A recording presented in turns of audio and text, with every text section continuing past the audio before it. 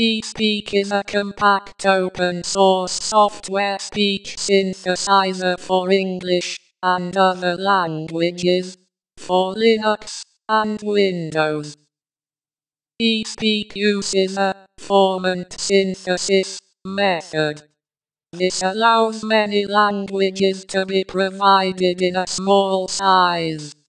The speech is clear and can be used at high speeds, but is not as natural or smooth as larger synthesizers, which are based on human speech recordings.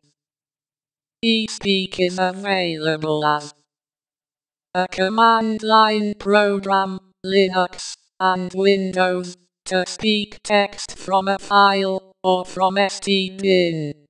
A shared library version for use by other programs. On Windows this is a DLL.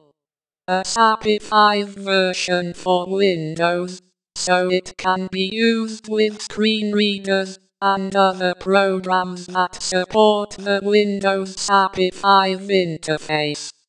eSpeak has been ported to other platforms, including Android, Mac OS X, and Solaris.